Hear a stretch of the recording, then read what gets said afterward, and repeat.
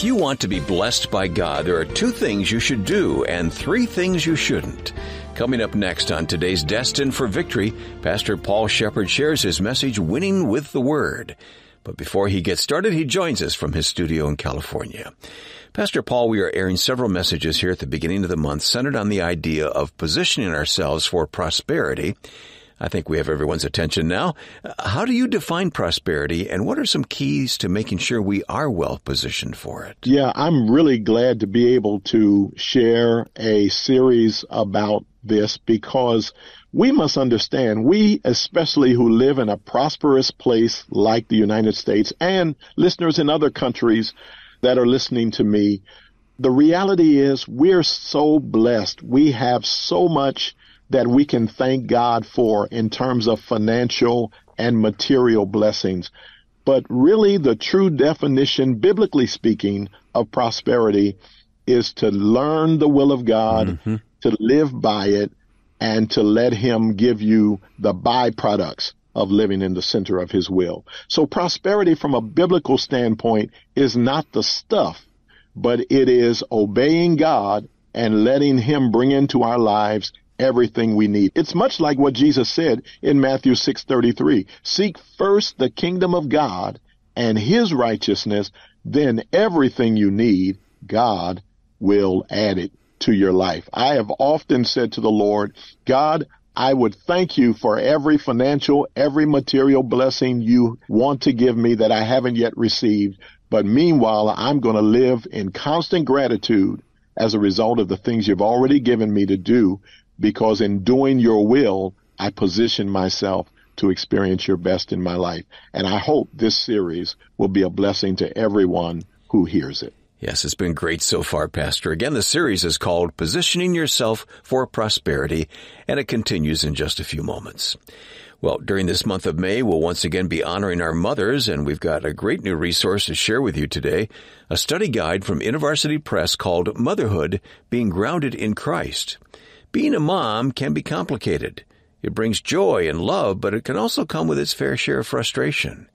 In this 10 lesson study on biblical motherhood, student minister and mother Patty Pell helps you discover the truth about who you are, who God is, and how He sees you. As you learn to rest in your identity in Christ, you'll be able to love your children the way God does and help them understand their own identity as children of God. That's motherhood being grounded in Christ, and it's our thank you to you or perhaps that mom in your life. Request it when you make your generous donation to Destined for Victory. Call us at 855-339-5500 or visit pastorpaul.net to make a safe and secure donation online. You can also mail your gift to Destined for Victory, Post Office Box 1767, Fremont, California 94538.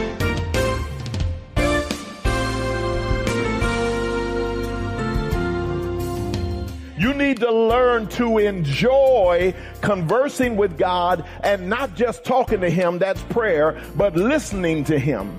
A lot of us want to do all the talking and make it a one-way conversation, but you're blessed when you learn how to listen to what God has to say to your life. His delight is in the law of the Lord, and in his law he meditates day and night. That's Psalm 1 verse 2, and this is destined for victory. Well, prayer and meditation are gifts of God, and they're designed to be a dialogue, not a monologue. Today, Pastor Paul goes to Psalm chapter 1 to show you how to live the blessed life God wants to give you.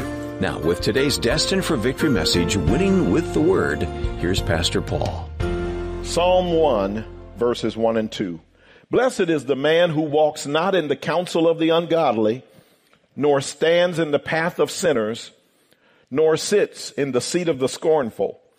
But his delight is in the law of the Lord, and in his law he meditates day and night. Here the psalmist David declares blessed. That word means happy or to be congratulated is the person who refuses to do the three things he mentions in verse one, who refuses to walk in the counsel of the ungodly. I talked about the fact that you're blessed when you learn to listen to godly wisdom. And then he says, blessed is a person who refuses to stand in the path of sinners. And I told you in the last message how important it is to stay in your lane. Don't get pulled into the lane or the path of people who disobey and ignore the will of God. And then he said, blessed is a person who refuses to sit in the seat of the scornful. Don't be like so many people who are relentlessly cynical, relentlessly negative as they deal with God and His will and His word for our lives. Now what I want to do is pick it up and show you that not only are you blessed when you refuse to do those things, but you're blessed when you choose to do what He says here in verse two.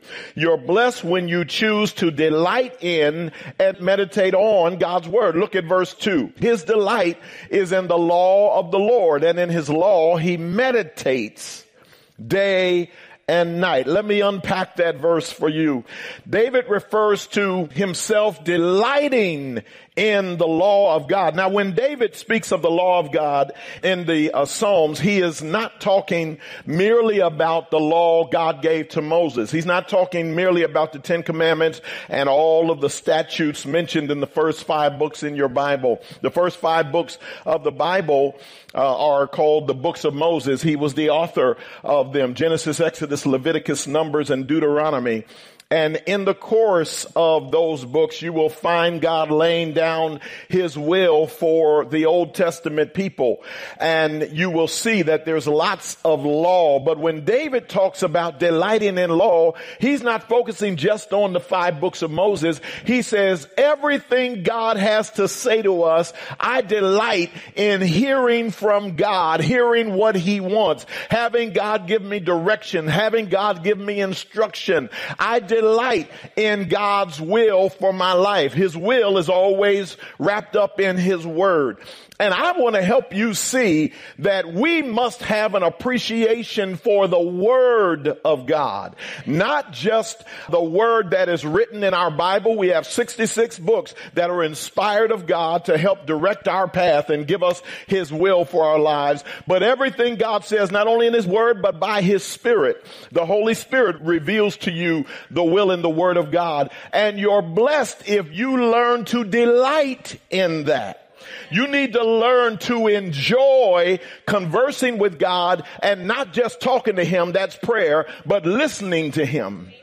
A lot of us want to do all the talking and make it a one-way conversation, but you're blessed when you learn how to listen to what God has to say to your life. See, the Bible tells us to love God. In fact, it commands us to love God. And you've got to indulge that relationship. You've got to nourish it by making sure you're conversant with God on a regular basis. Now, let me help you understand something. Y'all remember, just think back when you were a little young boy, young girl. You remember your first little crush, first little girlfriend, boyfriend. You wanted to talk. You wanted to talk even when y'all didn't have anything worth talking about. Come on, come on, let's go on back to yesteryear especially you old heads, I need y'all to help me because I want to establish the fact that when we were young, we people who are now older, when we were young, we didn't even have the cell phone. Now y'all can text each other and all that stuff. Wonderful. Knock yourself out with your little crush. When back in my day, there was only one landline in the house. Come on, I need some help up in here. One landline in the house. They might have had two extensions depending on how large your house was. There might have been a couple of phones, but it was only one line.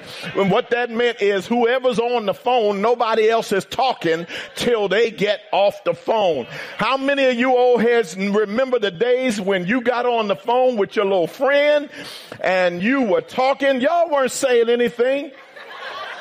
Come on, think about it. Sometime in late at night, Friday night, when your parents let you stay up late, it's during the school year, you can stay up Friday night or Saturday night. And you on the phone with your little friend, and you really think back, y'all weren't talking about much at all. Especially at night, sometimes you're getting real sleepy, but you're still holding the phone. I need some help up in here. Still holding the phone.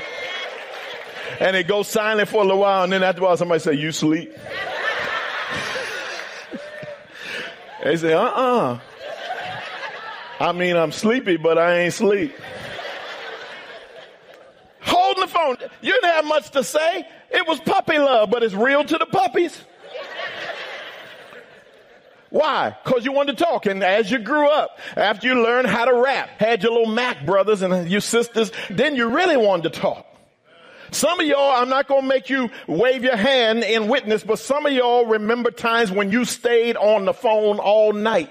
Y'all both fell asleep with the phone in your hand. Come on. Oh, you pretending like you never did it. All right. Why? You just wanted to converse. And listen, if you want to be a blessed person, David said, learn to enjoy conversing with God, not just talking to Him, but letting Him talk to you about His will for your life, because His will is not oppressive. His will is to bless you. God's not trying to hold you back. God's trying to get blessings into your life.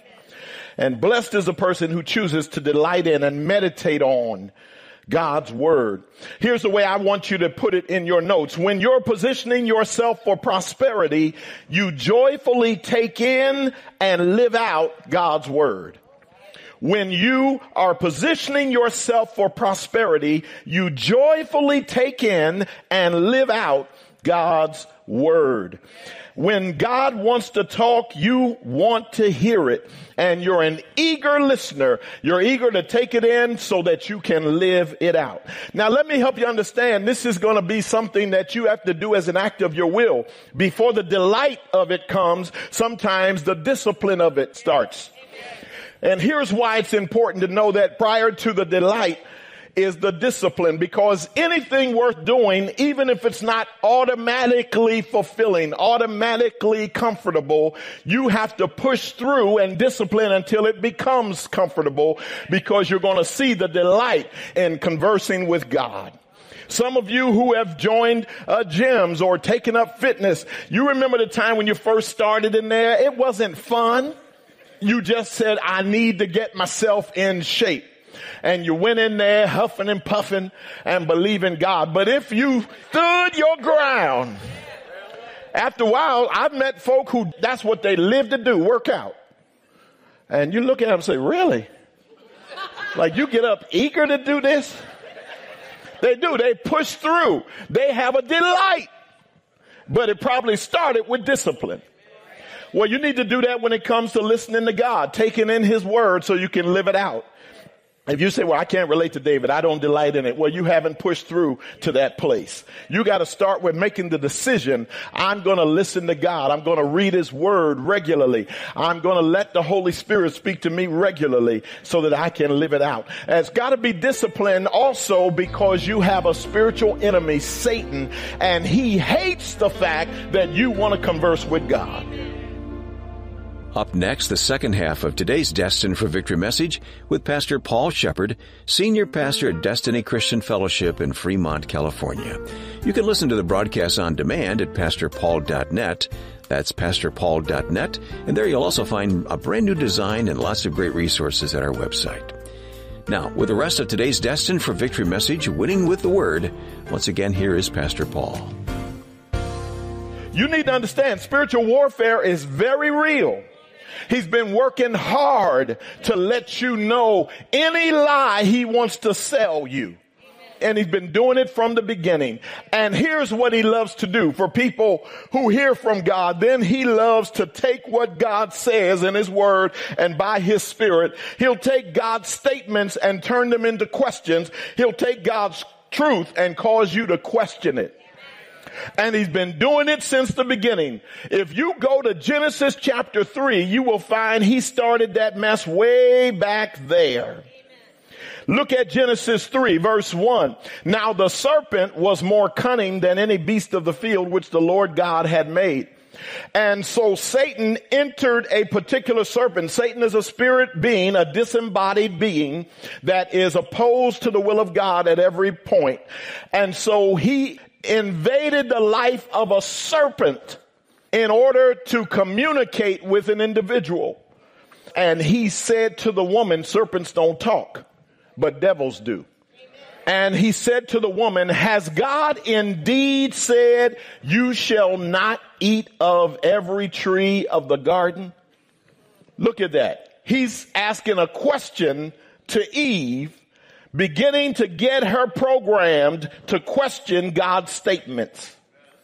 Has God indeed said, you shall not eat of every tree of the garden? Look at verse two. And the woman said to the serpent, we may eat the fruit of the trees of the garden, but of the fruit of the tree which is in the midst of the garden, God has said, you shall not eat it, nor shall you touch it, lest you die. So Satan poses a question. Has God really said that? That you can't eat and she correctly said, no, what he said is we can eat of the trees of the garden, but this one tree in the midst of the garden, we are not to eat from it. In fact, we're not even to touch it.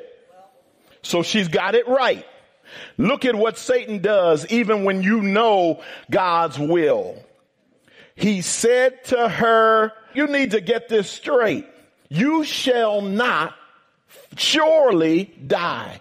God said the day you do it, you will die. Satan said, you're not going to die. One statement is true, one is a lie. God's word is always true. Any contradictory word, whether it comes directly from Satan or he's just planted enough doubt in your heart and your mind, anything that contradicts the will of God is a lie. I need to help you. You can't second guess God and be the blessed person David is talking about. I need to tell you that because we live in a world where people want to do their thing and they still want to be blessed. We have people who disobey regularly and they still want to be blessed. In fact, they're trying to claim it. Trying to name it and claim it, blab it and grab it. The way they say it a lot now, I decree and declare. You ever heard that? Where they get that from? I decree and declare. But we have all these little things that we try to say but the fact of the matter is, I don't care what you decree and declare, what you blab and grab, what you name and claim. If you're not doing what God said, you're positioning yourself out of the place where he can bless you. And so look at her. She gives him a correct response. No, he said we can eat of the trees, but leave this tree alone. And he comes back and says, you won't surely die. Then look at verse five. For God knows that in the day you eat of it, your eyes will be opened and you will be like God, knowing good and evil. Said, no, the truth is when you eat of it, you're going to have your eyes opened and you're going to move up to God's level. And you'll be at a place where you not only know good and evil, you will be at the place where you are sovereign. You can decide for yourself what you want to do and what you don't want to do. You'll be on par with God. So no matter what he says he wants you to do, you can just say, I'm going to do something else and still be blessed. That's what he's trying to set her up to believe and he tries to set you up to believe it too. I don't have to do what God says. You don't have to be a fanatic. You can just go to church when you feel like it, stay home when you feel like it. You can do the will of God when you want to and ignore it when you want to. And God will bless you anyway. So he has planted the seed first with the lie, you won't die. And then with the lie, you're going to move up to God's level. And look at what happens. Verse six. So when the woman saw that the tree was good for food, that it was pleasant to the eyes, you gotta watch it. She saw the tree was good for food and it was pleasant to the eyes. Some of y'all are messed up over what you're seeing. I hope you didn't think this message was going to be about Adam and Eve. I'm not preaching to Adam and Eve. I'm preaching to you about you. So you see some things that are good and pleasant to the eye, and you're focused on what you see rather than what you heard God say. And you're being set up. When she saw that, and the tree was desirable, look at the next phrase, to make one wise. She saw that it was desirable to make one wise. How'd you see that a tree is desirable? No, no. That's when you have started taking in the lie. And now the lie starts feeding you false information. You can't just buy one uh, lie. You got to buy the accompanying lies. And so now she says, you know what? He said that I would become wise. I'd become like God. And when I look at that tree, that makes a whole lot of sense. And I'll become just like God. And I, I don't have to, I don't have to bow to him because Satan told me that I will go up to God's level and God must be trying to hold me back. God doesn't have my best interest. He's trying to hold me back. I want to be every woman. Y'all remember Chaka Khan? Don't even try it. Don't even try it. And even the young folk who don't remember her, you remember when Whitney picked it up years ago. I'm every woman. It's all in me. Anything you want, don't start. No. And so when she's thinking these things, oh yeah, he's trying to hold me back. I'm going to be so much better, a better version of myself if I just do this. And the next thing you know, you're thinking that going against God's will is a good idea. And we've all been there. Don't pretend like you have never second guessed anything God has said. And that's what happened in the beginning. And I want you to see the saddest verse in the Bible. It goes on to say, she saw it was desirable to make one wise. She took of its fruit and ate. Next sentence, worst sentence in the Bible. She also gave to her weak, ought to be shame of himself, husband who was standing right there with her and he ate. That is pitiful. Of all the times that the macho ought to come out, that's when his macho should have been there. He should have been the man, cause he's the one, when you look at the previous chapter, he's the one God spoke these words to.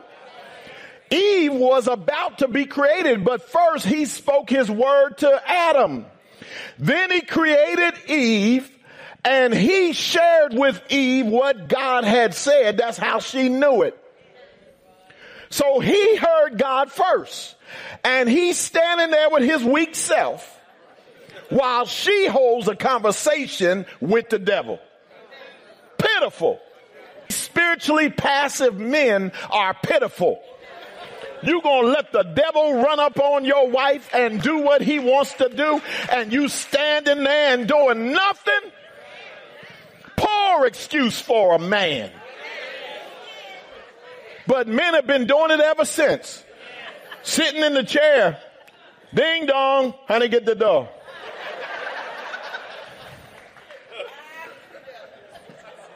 Open the door, it's the devil with a package. You say, who that? Devil? and you stay in the chair watching SportsCenter. That was the time for his macho to step up. There it is right there. We always try to get macho, but y'all got to find the right time to get macho. When the devil's coming against your family, that's the time for you to step up. That's the time for you to say, hey, hey, hey, wait a minute. Let me, let me have this conversation. You stand behind me, baby. Just keep looking fine. Come on, cause you know Eve, this is it. Eve was it. And that girl was cute for real. And he should say, you just stand back here with your fine self. Uh, what is it? How can I help you? That's what he should have done. Thanks so much for being here for today's Destined for Victory message, Winning with the Word. Remember, for your generous gift to Destined for Victory, be sure to request the study guide from InterVarsity Press, Motherhood, Being Grounded in Christ. That's Motherhood, Being Grounded in Christ. Visit PastorPaul.net for details. Man shall not live by bread alone. Man shall not live by feelings alone. Man shall not live by what he thinks alone we must live by every word that proceeds out of the mouth of God. Live your life by the word of God to be blessed. And that's tomorrow in Pastor Paul Sheppard's message, Winning with the Word. Until then, remember, he who began a good work in you will bring it to completion. In Christ, you are destined for victory.